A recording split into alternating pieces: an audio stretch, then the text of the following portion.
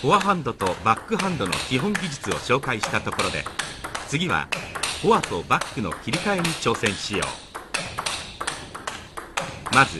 フォアハンドドライブとバックハンドショートの切り替えだ 일단 기본은 제가 이것도 자세를 낮춰준 상태에서 이제 리듬을 이런 식으로 타야 되고요. 타야 되지만 이제, 이제 그립의 전환이 좀 페널드 같은 경우는 어려워요. 이제 화에서 백으로 전환하거나 백에서 화로 전환할 때 이제 그립이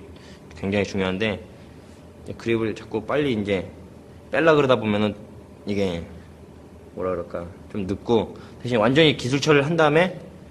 빼도 안 늦기 때문에 그립이나 이런 거에 너무 민감하게 받아들이지 말고 자기가 자연스러운 자세로 하는 게 중요한 것 같고요.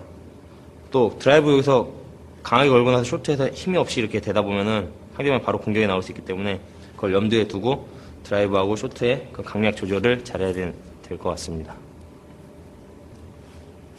어깨보다 약간 더 벌린 상태에서 또 때에 따라서는 이제 공이 사이드로 빠질 수 있기 때문에 더 벌려도 되고 이거는 약간 너무 좁지만 않으면은 약간 벌리구나 이렇게 하는 거는 괜찮을 것 같아요.